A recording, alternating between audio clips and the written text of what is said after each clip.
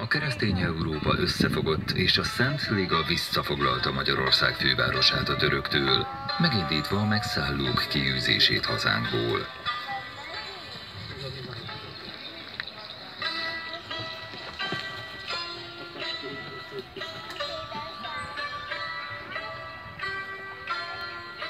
A török rabiga megszűnése fölött érzett örömbe azonban sok keserű üröm vegyült.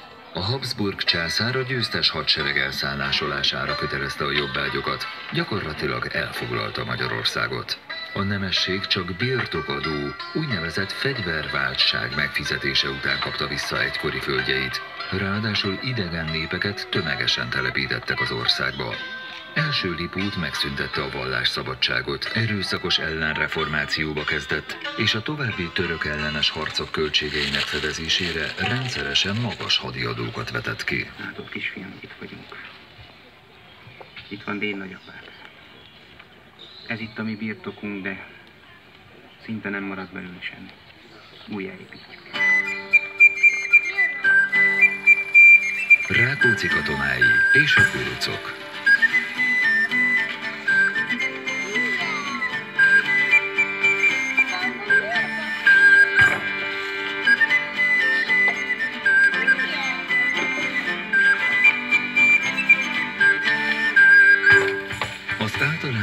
Elégedetlenség jelei a Tisza hát mentén kezdtek jelentkezni.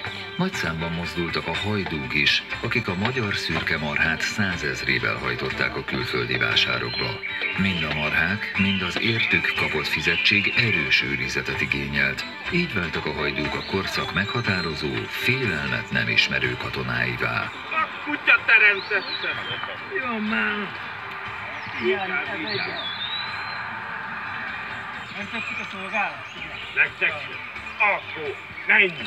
Az elégedetlenség Habsburg ellenes felkelésbe torkollott, amely azonban lényegileg különbözött az eddigiektől.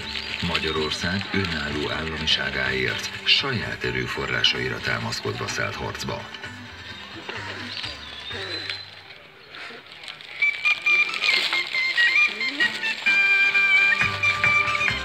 1703-ban a Habsburg ellenes szervezkedés miatt Lengyelországba menekült második Rákóczi Ferenc hazatért a bújdosásból, és a szabadságharc élére állt.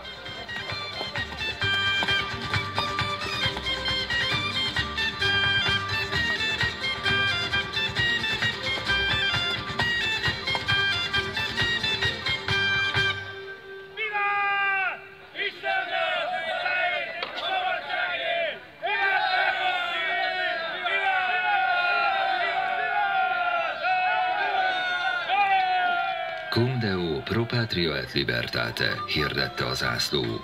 Istennel a hazáért és a szabadságért. A Dunától keletre eső területek és a felvidék bravúros hadicselek és győztes csaták révén a kurucok kezére került. Bottyán János, Esze Tamás, Bezeréty Imre és más jeles főkapitányok vitézkedtek.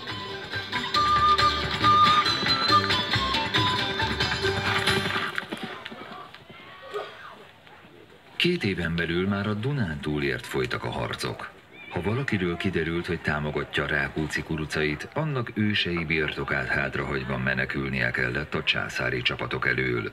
Így váltak sokan családjukkal együtt bújdosóvá. Úra termett idő, ködnevelő szellő, ködnevelő szellő.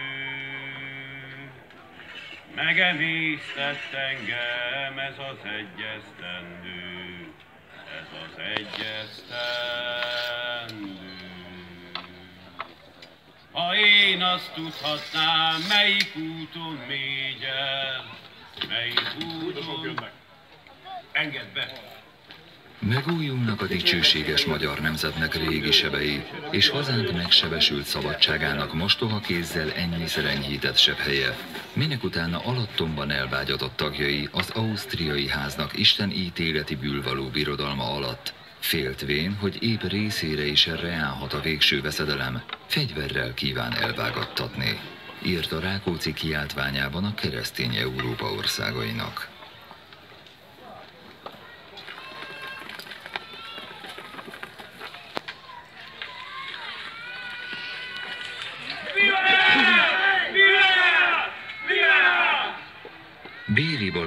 Brigadéros vezetésével megkezdődött a felkelők összegyűjtése és a Dunántúli kuruc seregek megszervezése. Rákóczi fejedelem zászlaja alatt egy táborban egyesülhettek a magyarok.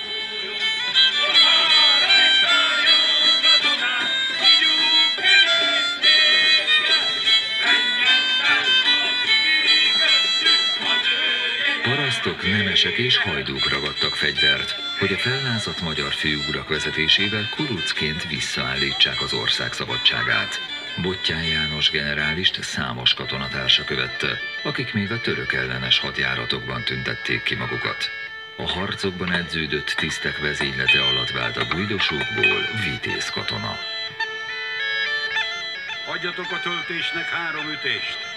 Röviden a melyethez, tegyétek a pofátokhoz.